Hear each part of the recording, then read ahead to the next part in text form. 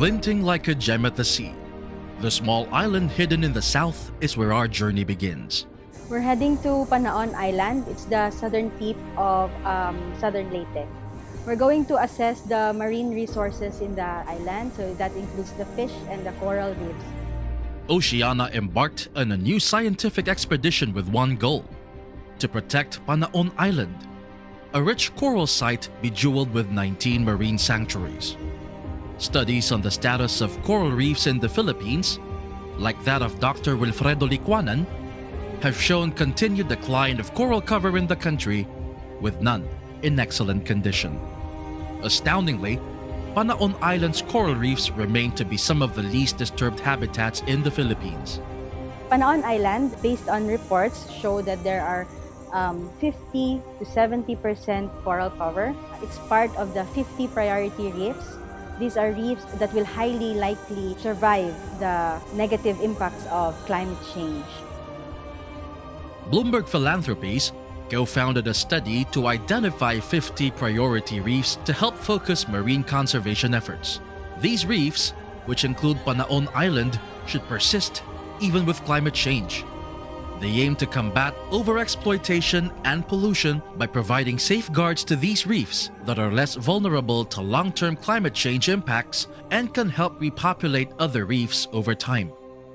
Panaon reefs are very different. The structure of the reefs are also very diverse. Like in some areas, you will have shallow reefs that are very in very good condition. But in some areas, you have reefs from like maybe one meter all the way down to maybe 30. If you see corals that deep, it's an indicator that the water here is very rich and the coral diversity is high.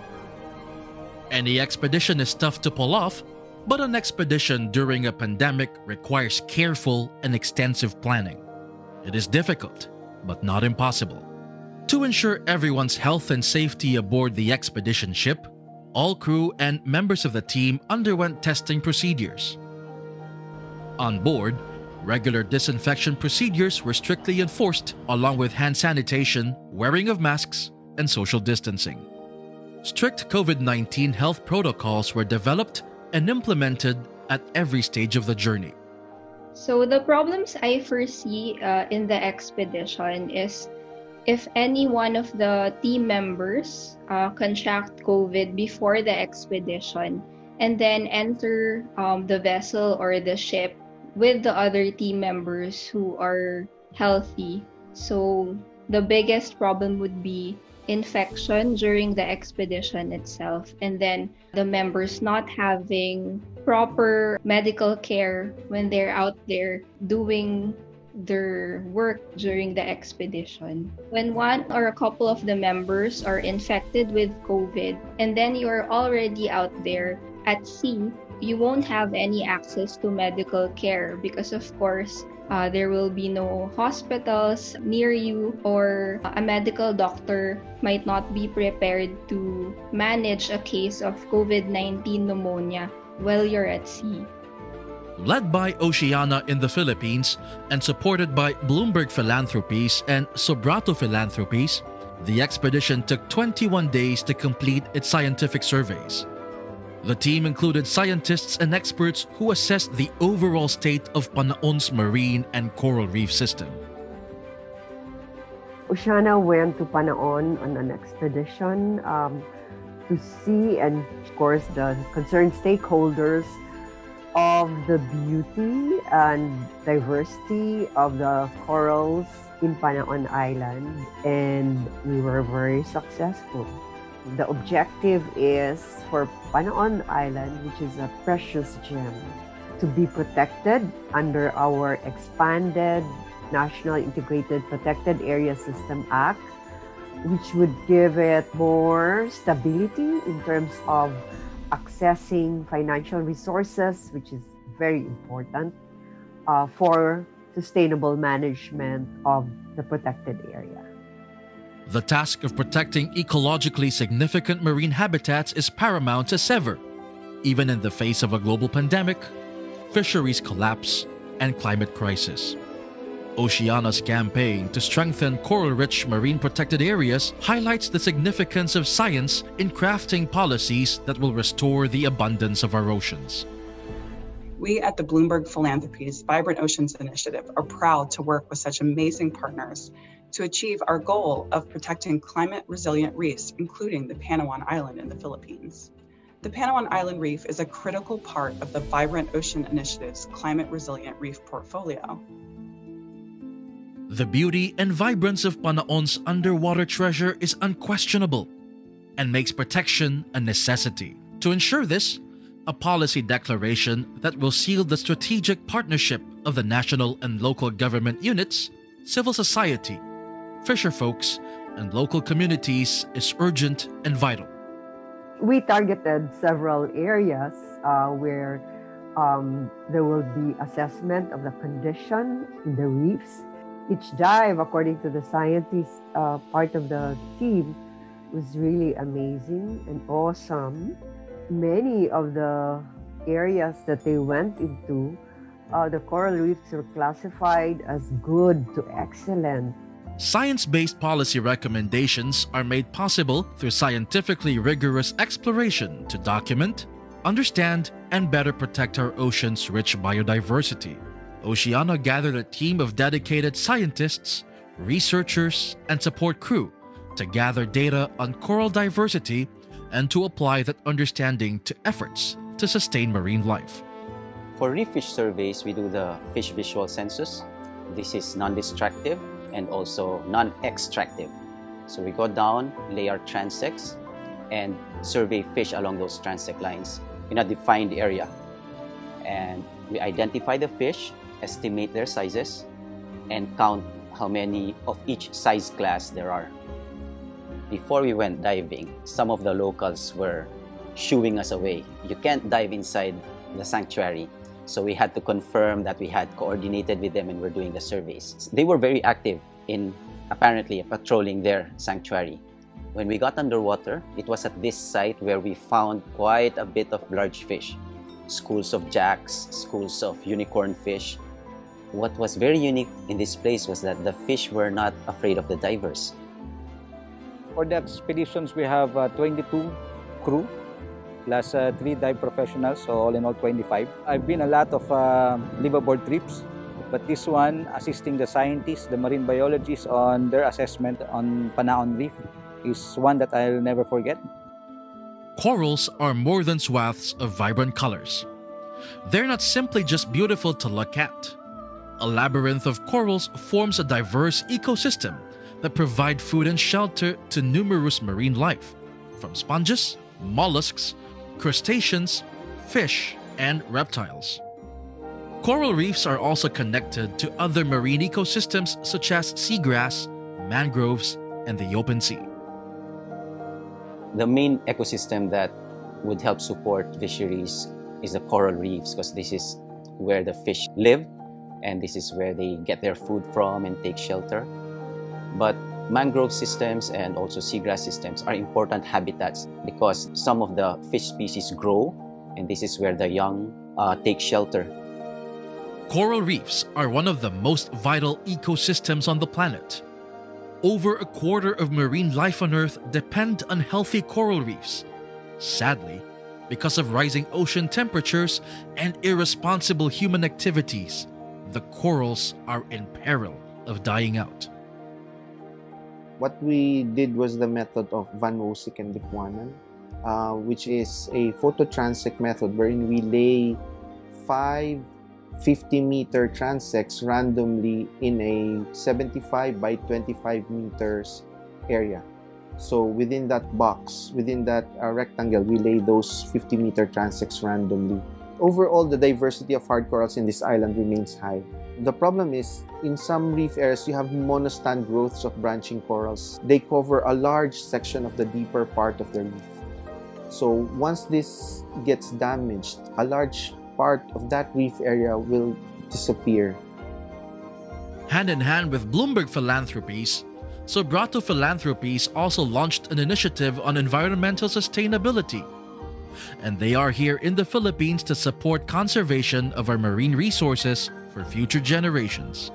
The Sobrato family has a foundation where we make grants collectively as a family and historically it's been mostly being focused on the Silicon Valley and giving back to where the family has made its success. And um, two and a half years ago, we decided um, as a family that we will try to address some of the issue in sustainability. And so we decided to make um, uh, a big bet and uh, some grants into the sustainability world. I mean, the mangrove and the coral reef, and especially in the Philippines, are really at the heart of this ecosystem um, for you know the, the, the, the, fish and the stock of the fish to replenish in this area so that everybody can have enough fish to eat. Especially in the philippines it's an area where people are depending on, uh, on the ocean a lot. So this is critical. You need to feed the, the, the people in, these communities.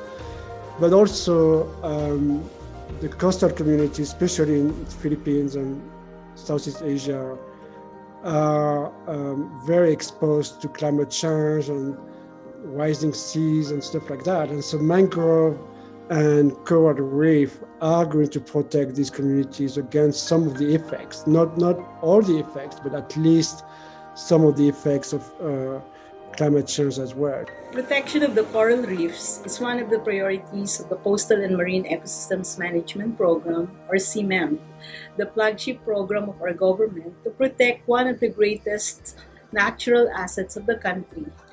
While Panaon Island is already recognized as a marine key biodiversity area, the area still needs to undergo extensive science-based evaluation and assessment the Philippines is in an enviable position of being at the center of the center of marine biodiversity in the world. But this great gift bears great responsibility. With the many threats to coral reefs worldwide, protecting our very own Panaon Island is of paramount importance. A safeguard policy that will enhance the conservation of our unique but vastly threatened marine ecosystems, including coral reefs, is the expanded National Integrated Protected Area Systems Act of 2018 or the ENIPAS Act. The inclusion of Panaon as a marine protected area under ENIPAS will help ensure the island's resources for the future generations. Importante ang proteksyon sa mga bahandi sa dagat sa Panaon tungod alang sa lahutay nga panginabuhi o pagkaon sa mga tao sa panahon. Ang gobyerno sa Southern Leyte nihatag og technical o financial support sa pag-establish sa mga marine protected areas. Kulang og pundo ang LGUs alang sa law enforcement. O pagkawala sa mga boundaries markers tungod sa abaga. Sa mga lumulupyo sa Panahon Island, palihog ang pingin ninyo ang inyong dagat kay nakita nato dire nga maayo og anindot ang mga bahandi sa dagat sa panahon. Environment protection is our vision in Southern Leyte or one of our vision we adapt the program from uh, ridge to reef. We protect our mountains, uh, we plant trees, and uh, we also uh, protect our ocean and uh, shoreline. And uh, we have a Republic Act declaring entire southern Leyte into a total log ban area. We have support programs to protect our environment. Because of that action, um, it has cascaded to the citizens, and now they are careful in ensuring that there are no threats, especially in so far as the marine sanctuaries are concerned. And perhaps that's one of the reasons why the corals are still very much pristine and in good health. So it is an example of government and citizens working together to ensure that we have the healthy and vibrant ocean that each Filipino and the future generation deserves to have. Partnering is uh, is ideal, but uh, we need partners who gives us trade, who helps our economy, not exploit. We want partners who will teach us how to be self-reliant, how to stand on our own, using all these natural resources. Healthy coral reefs ultimately support artisanal fisherfolk, and coral reef protection aids in food security. Just like a network of corals, the life underwater is intertwined with life on land. The well-being of fisherfolks and communities is anchored on abundant and healthy oceans. By declaring Panaon Island as an NIPAS protected site, we have a stronger foothold on achieving sustainable food security and poverty alleviation for the people of Panaon. The Panaon Island Expedition is more than just a 21 day journey south. In a time of uncertainty, it is a beacon of hope for the oceans and people. That's why Oceana is embarking on the campaign to have Panaon Island declared as a protected area. By doing so, it will be more resilient to the impacts of climate change. And that means people in the area or even outside of the area will stand to benefit from a healthy and resilient natural ecosystem in Panaon Island. Panaon Island is home to exceptional biodiversity.